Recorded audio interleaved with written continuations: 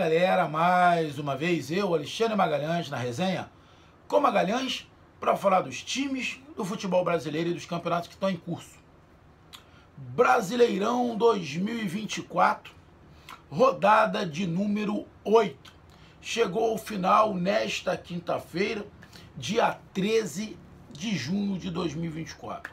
E o canal Resenha com Magalhães vem fazer aqui um resumo do que aconteceu, tá? Com os resultados e a classificação. E vamos falar rapidamente também das decepções e das e dos destaques desta rodada. Lembrando que no sábado, já dia 15 já começa a próxima rodada. E também lembrando que o Campeonato Brasileiro de 2024, que é o campeonato que não tem isonomia nenhuma, é um campeonato completamente desequilibrado é um campeonato que não tem jeito. O campeão, o título, vai ser manchado. Por causa de quê? Por causa da ganância por dinheiro da CBF. É um campeonato completamente desequilibrado. Porém, a culpa é grande parte dos presidentes e das torcidas. Por quê? Não estão nem aí. Não está acontecendo com, com o seu time dane-se, os outros que se virem. Mas o dia que acontecer com seu time não pode reclamar. E não me vem com papo de, ah, já aconteceu comigo, então, não. Não dá para você, é, o que aconteceu com você, você... Não, irmão, na boa. Campeonato tem que ter equilíbrio. Para você ser um campeão legítimo, tem que ter equilíbrio. Para você ser um dos classificados para Libertadores, tem que ter equilíbrio. Até para quem for rebaixado, tem que ter equilíbrio. Esse campeonato não tem isonomia nenhuma. Vou ser sincero, o time que for rebaixado pode até entrar na justiça. Por quê? Porque não teve equilíbrio. Esse campeonato pode parar na justiça ao final dele. Escuta o que eu estou falando. A gente está na oitava rodada. Esse campeonato pode terminar na, na justiça por causa da CBF que quer engolir o boi com chifre e tudo. Então, eu já digo, para mim, o campeonato de 2024, independente de, de, quem seja campeão, de quem vai cair, de quem vai para a Libertadores Sul-Americana, para mim, é um resultado mexido. Não, não vai ser um resultado real. Primeiro, por causa da tragédia do Rio Grande do Sul. Segundo, porque não para na Copa América. Ou seja, equilíbrio zero, isonomia zero. Então, irmão, é... a gente vai seguir falando, vai seguir acompanhando, vai seguir fazendo as nossas análises, mas para mim, o campeonato de 2024 é um campeonato, não é que não vá valer, óbvio que vai valer, mas é que vai ficar ao final um ponto de interrogação, independente de quem ganhe. Tá? Então, vamos lá para o nosso resumo. Então, peço a você, meu amigo torcedor brasileiro que acompanha o canal Resenha com Magalhães, eu peço que você curta, compartilhe, inscreva-se no canal, dê o seu like, ative a notificação, coloque seus comentários, entre no nosso WhatsApp, que está aqui embaixo na descrição do canal, você vai lá, diz seu nome, o time que você torce, que eu coloco você no grupo do seu time. Só para lembrar, para falar de futebol, não é para falar de política e nem de religião. E se você quiser ajudar o canal a crescer, você pode dar através do Pix, que é o número do nosso WhatsApp, você pode dar através do Superchat, quando estiver vendo live, e você pode dar através do clube de membro do canal Resenha com Magalhães aqui embaixo de azul. E agora você pode ajudar através do Valeu, que é esse coração que se frango está do lado compartilhar. Mais uma coisa, não deixe de se inscrever no canal, porque mais da metade da galera que acompanha o canal não é inscrito. Então dá essa moral pro canal e inscreva-se no canal. Beleza? Então vamos lá, galera. Vamos aqui para as partidas, para os resultados das partidas desta oitava rodada. Bom, tivemos Atlético Goianiense 2, Corinthians 2. Corinthians abriu 2 a 0 e tomou o empate. A situação do Corinthians é, é Bom, é, é, é complicada. A situação do Corinthians fora e dentro de campo é muito complicado. Tá naquela fase de é, irmão, abandonem o barco porque tá afundando. E o Atlético Goianiense, que é um time bem competitivo, está na parte de baixo da tabela, mas é um time bem competitivo. Mostrou mais uma vez que é competitivo. E diante de tudo, eu não acho o resultado, esse resultado de 2 a 2 um resultado fora do padrão. Achei um resultado normal. Porém, diante do fato do Corinthians ter aberto 2 a 0 porra, complicado. Juventude 1, Vitória 1. Também um resultado, para mim. É... Ah, eu tô chupando uma bala aqui, tá? Mas é uma bala para garganta. Tá? Aqui no Rio de Janeiro tá muito seco. É, tô com a garganta ardendo demais. Tá? Já botei aquele negócio, ah, aquela, aquela, aquela bombinha, é água toda hora, mel. É, eu comprei um alho lá, limão, para fazer um, um gargarejo e uma balinha de própolis agora que eu tô, que eu tô expondo aqui, a ver se alivia a garganta que tá brava. De tarde eu queria tirar um ronquinho, porra, nem, nem consegui, porque toda hora a garganta é, é, é seca, né? Beber água, aí tu bebe muita água nesse frio, então toda hora vai, vai no banheiro também. É complicado, tá? Então tô fazendo essa bala aqui, porque senão não consigo fazer, fazer o vídeo. Então, Juventude Vitória, empate de 1 a 1 Pra mim, eu vi o jogo, tá? Tem um vídeo aqui no canal. Pra mim, um resultado dentro de esperado. Nada normal. Botafogo 1, Fluminense 0. Eu, eu, eu, nos meus palpites, eu apostei no Botafogo. Mandar até um abraço pro meu amigo Vitor. Vitor, lá do posto de gasolina, eu acho, eu não sei se é ali onde eu paro para botar gasolina quando eu venho no trabalho, se é ali é São Gonçalo ou se é Itaboraí. Ele trabalha de madrugada, né? Trabalha na madrugada. Geralmente eu boto gasolina é, mais ou menos às quatro poucas da manhã, cinco horas da, da, da manhã, mais ou menos, quando eu volto, né? É, ou um pouquinho mais, cinco e pouquinho, bota ali a gasolina ou, ou um etanol ali com ele, posto que eu já já estou acostumado, e ali a gente fica trocando ideia, né, sobre futebol. Ele é botafoguense, é o moleque botafoguense, Vitor, trabalhador. Vitão, tamo junto, moleque. Um grande abraço aí pra, pra você e sucesso. E o Botafogo do meu amigo Vitor, do meu amigo Raimundo Nonato, do meu amigo Souza Júnior, ganhou do Fluminense de 1 a 0. Eu vou te dizer, o Botafogo perdeu a chance de dar um saco no Fluminense. Não sei se seria igual o Flamengo fez com o Vasco, mas ia por aí. O Botafogo teve a chance de dar um, uma sacolada no Fluminense. Se o Fluminense, irmão, o Fluminense está igual 2024, não fez uma partida boa, esquema manjado, jogadores abaixo, é, o Diniz parece que não enxerga, parece que só ele que está certo. Isso vai causar problema no elenco, se já não estiver causando. É, e o Thiago Silva que chegou, ou ele é muito cara de pau, ou venderam a imagem errada. Para ele falar que o Fluminense é o time a ser batido, ele tá de sacanagem. O Fluminense tá quase na zona do rebaixamento. Porra, Thiago Silva. Tá de sacanagem, quis, quis fazer uma média, né? Tá certo. Então, para mim, vitória normal.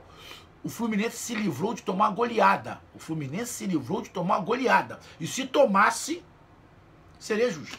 Então, grande vitória do Botafogo em cima do Fluminense. Bragantino 1, Atlético Mineiro 2. Jogão. Jogão com expulsões de ambos os lados. E é um resultado também, é, na minha opinião, dentro de uma, de uma, de uma normalidade. São dois times bons, dois times bem competitivos, que vão brigar na parte de cima da tabela, já estão brigando na parte de cima da tabela, e o Galo venceu fora de casa. Para mim, cara, é, é normal, normal. Resultado também normal. Nenhuma surpresa. Ah, se o Bragantino vencesse, também, para mim, não seria surpresa alguma. Cruzeiro 2, Cuiabá 1.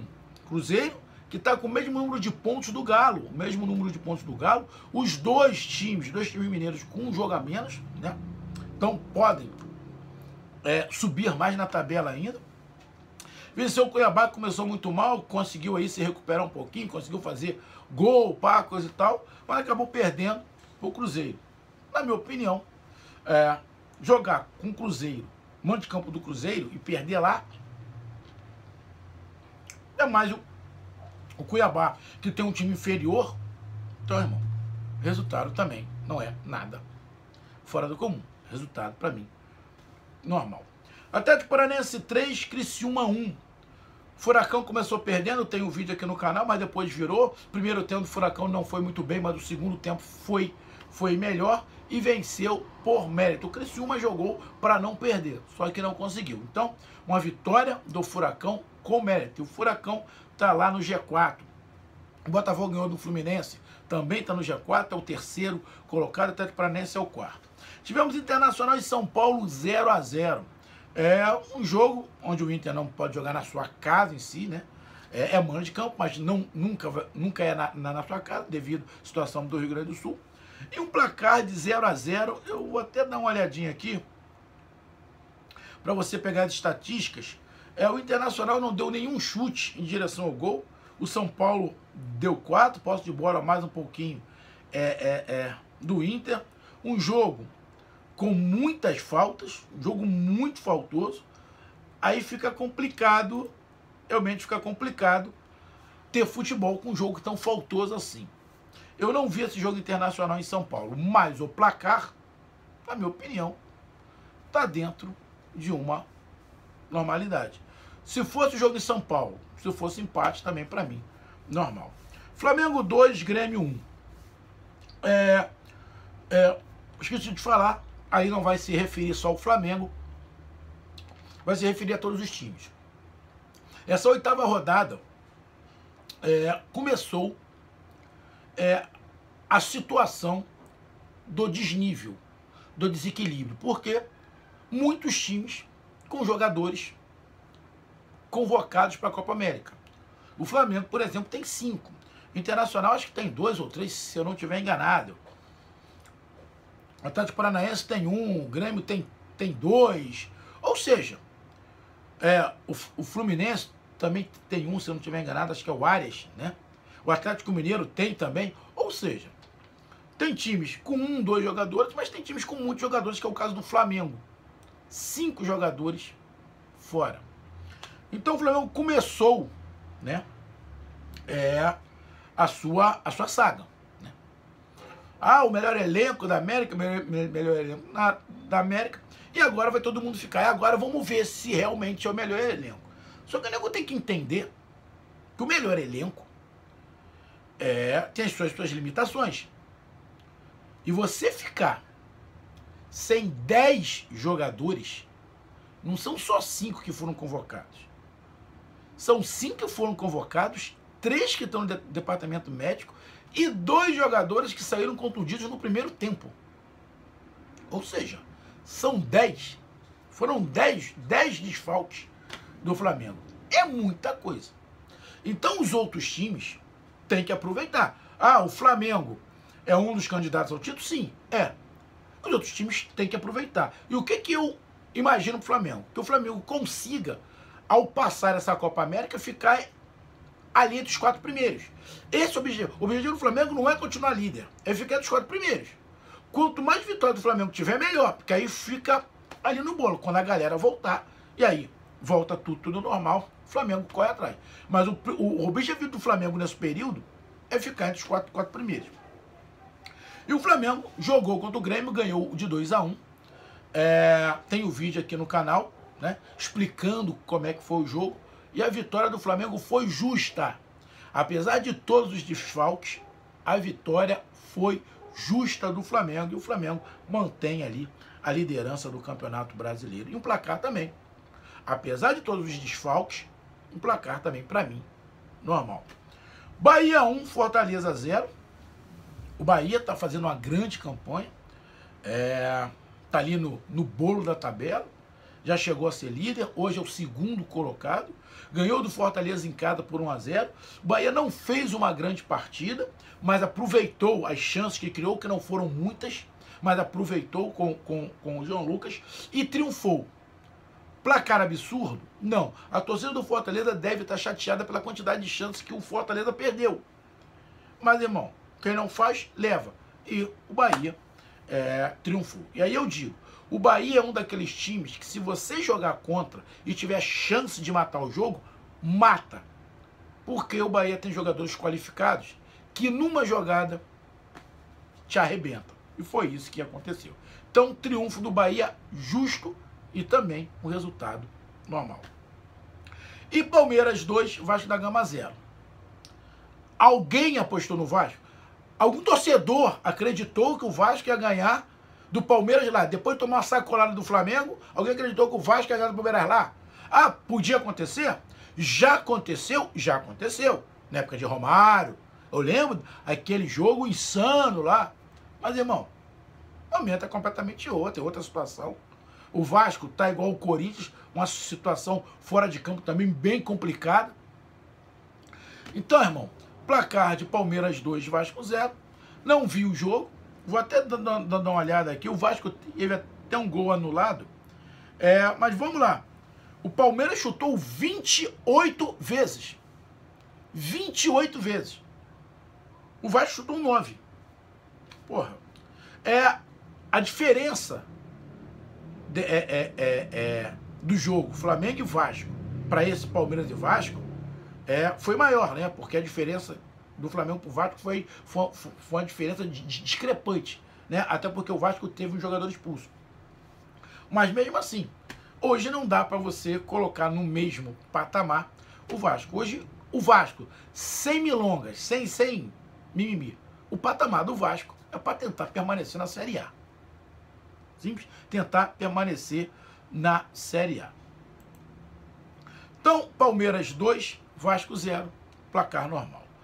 Decepção da rodada. Bom, para mim a decepção da rodada é o Corinthians, que estava ganhando de 2 a 0 e cedeu o empate.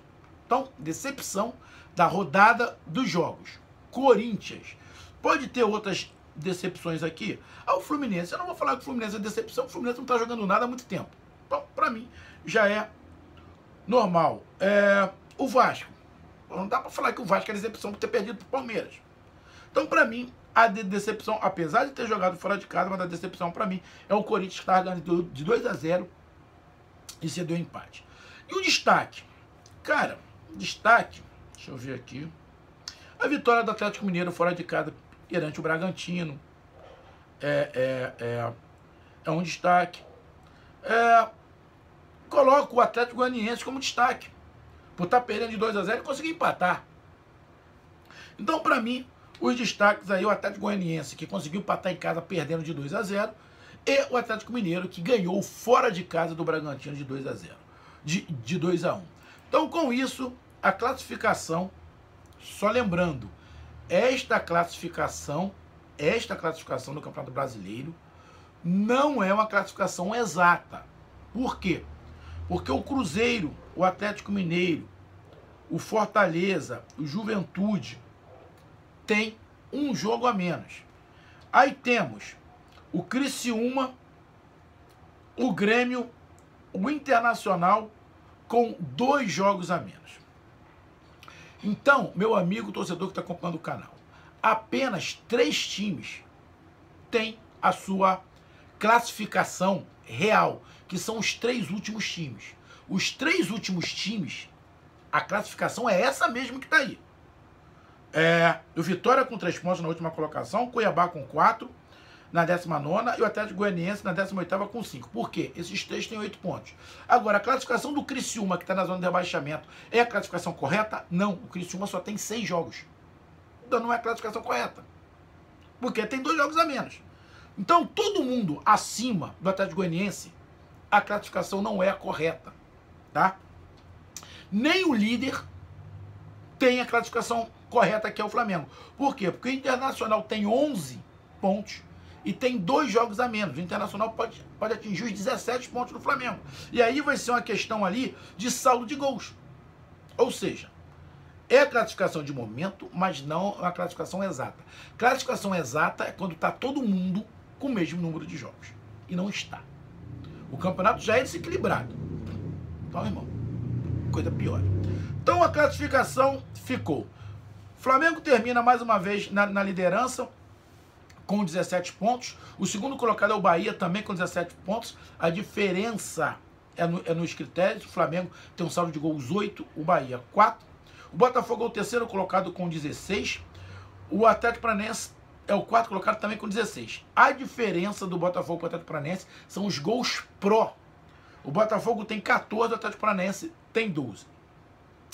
A quinta, a quinta colocação é do São Paulo com 14 pontos e o Palmeiras é o sexto também com 14. A diferença do São Paulo para o Palmeiras é o saldo de gols. O saldo de gols do São Paulo é 6 e do Palmeiras 3. Ou seja, do primeiro para o segundo, a diferença são os critérios.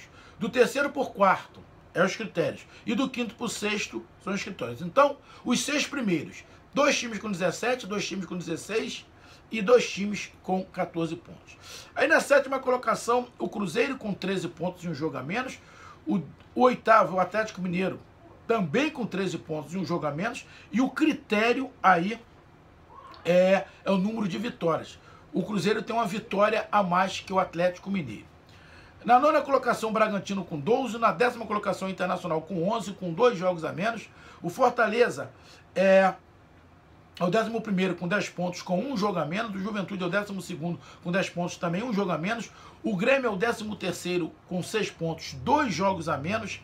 O Vasco da Gama é o 14 com 6 pontos, completo.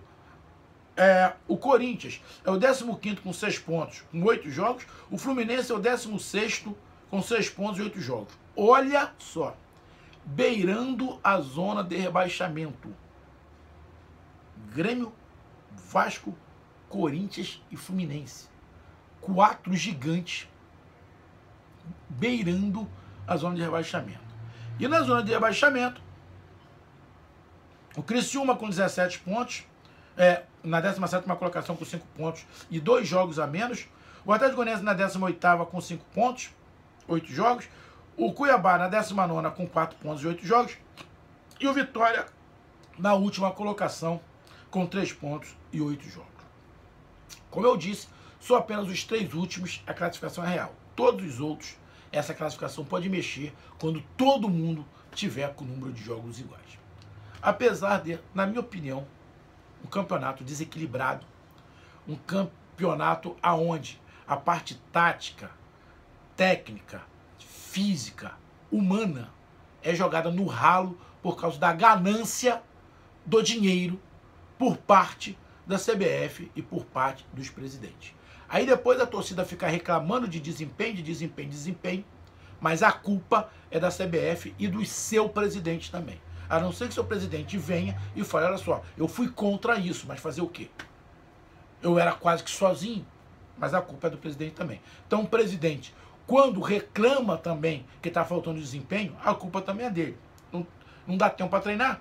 É jogar, descansar, um treinozinho, jogar, descansar. A ganância é complicado. Então tá aí a minha análise. Um grande abraço, até mais, valeu. Tamo junto. Fui.